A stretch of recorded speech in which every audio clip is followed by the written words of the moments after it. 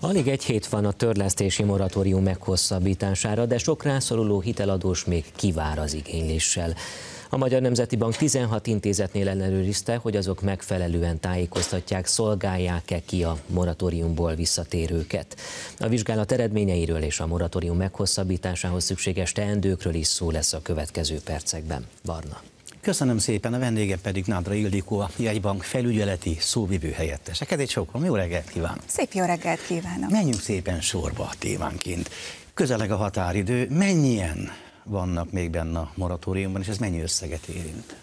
Sürget a határidő, igen, de kezdjük akkor az elején. A kezdetekkor 1,4 millió lakossági ügyfél vette igénybe a, fogyasztá- vagy a, a moratóriumot, a törlesztési moratóriumot.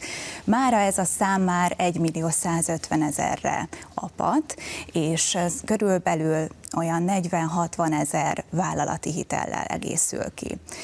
A, a 2020 decemberi adatok alapján és a jelenlegi nyári adatok alapján 184 ezer ügyfél, lakossági ügyfél távozott már a törlesztési moratóriumból. Ők és fizetnek most már. Így van, most már ők törlesztenek tovább, és ez körülbelül olyan 20 ezer vállalati ügyféllel egészül ki. Kik jogosultak arra, hogy jövő nyárig igénybe vegyék még ezt a moratóriumot? Bár tudom, hogy a jegybank mindig azt javasolja, hogy akinek lehetősége van rá, törlesszen. Igen, most erre vonatkozik egy kifejezetten egy kormányrendelet. Ez szabja meg, hogy kik élhetnek ezzel a fizetési moratórium hosszabbítással.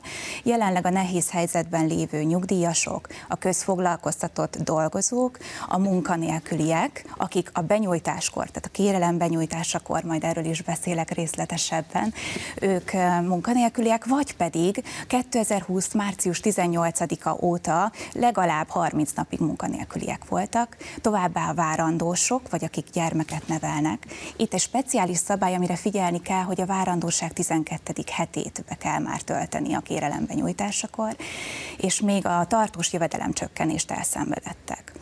A vállalatoknál egy további feltétel is van, méghozzá az, hogy a kérelem benyújtását megelőző 18 hónapban, tehát tavaly 2020. március 18-tól a kérelem benyújtásáig, ők, az ők bevételük, a nettó árbevételük legalább 25%-kal csökkent, továbbá nem vettek fel gazdaságélénkítő hitelt, és új kölcsön felvételét sem kezdeményezték.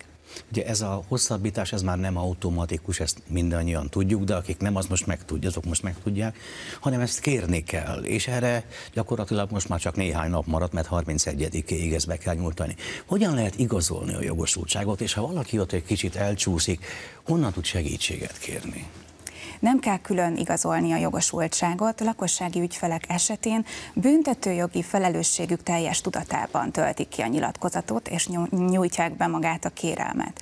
Vállalatoknál, ahogy említettem, egy speciális mérték az, hogy a netto árbevételük az, az ezt megelőző, kérelem benyújtását megelőző 18 hónapban legalább 25%-kal csökkent, illetőleg az is, hogy nem vettek fel piaci kedvezményes gazdaságélénkítő hitelt, emellett még új kölcsön felvételére sem kötöttek szerződést hogy hol vehetnek igénybe segítséget ehhez az érdeklődők. Az MNB-nek az ügyfélszolgálatán Budapesten készséggel állnak a segítségükre, emellett minden megyeszékhelyen működik pénzügyi navigátor tanácsadó iroda, amelyek szintén segítenek nekünk abban, hogy a kérelmet, a formanyomtatványt szükség esetén kitöltsük. Mi van azzal a valami, vagy személyes okból, vagy elfelejt, kicsúszik a határidőből, tehát nem kéri a moratórium meghosszabbítását meghosszabbítását, holott lehet, hogy jogosult lenne rá. Először is azzal kezdeném, hogy ez a határidő jogvesztő. Ez uh-huh. nagyon fontos, és érdemes erre odafigyelni, hiszen aki a héten nem kezdeményezi a moratórium meghosszabbítását, hogyha jogosult rá, akkor már nem teheti ezt meg. Szemben azzal, hogy tavaly 2020. március 18-án minden addig folyósított hitel automatikusan bekerült a moratórium hatája alá. És ott pedig teljesen azt a be- és kilépés lehetősége az automatikus volt, lehetett vele élni, és csak annak kellett jelezni a bankjának, aki szerette volna törleszteni tovább a tartozását. Most október 31-e, hangsúlyozom, október 31-e egy fordulópont. Tehát aki rászorul, és szeretné tovább a moratórium meghosszabbítása alatt is ezt a fizetési stoppot, külön jeleznie kell a bankjának nyilatkozat formájában.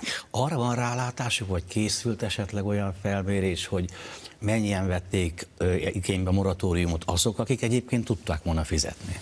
Mert mondjuk építkeztek, vagy lakást újítottak fel, most csak példálózom, mert én nem értek hozzá. A Magyar Nemzeti Bank szerint a lakossági ügyfelek 10%-a esik a jövedelme és az élethelyzete alapján a sérülékeny öm, sérülékeny körbe, tehát aki a moratórium szempontjából kifeszített körbe tartozik. Ami azt feltételező, hogy a 90 százalék akár kényelmi szempontból maradhatott benne ebben a moratóriumban.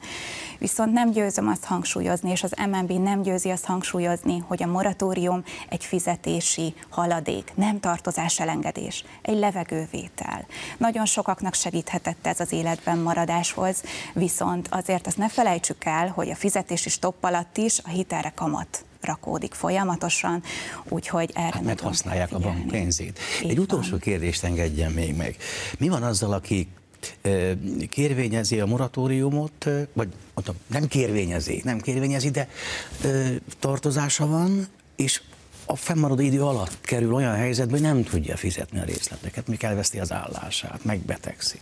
Senkivel ne történjen ilyen, csak Ebben az esetben sem szabad kétségbe esni, hiszen a bankoknak vannak piaci fizetéskönnyítő programjaik, amivel segítik az ilyen helyzetbe került ügyfeleket. Ilyenre gondolok, hogy futamidő hosszabbítás, vagy olcsóbb hitelre váltás. És azt se felejtsük el, hogy a Magyar Nemzeti Bank folyamatosan felügyeli, most jelenleg 16 hitelintézet tekintetében azt, hogy mennyire tartják, mennyire tájékoztatják az ügyfeleket, akik a moratóriumból visszatérnek a jogszabályokról, mennyire tartják be pontról pontra. Jelentős problémát nem észleltünk, de ez folytatódik tovább is. Nagyon szépen köszönöm, hogy itt vendégünk volt. Nagyon szépen köszönöm én is.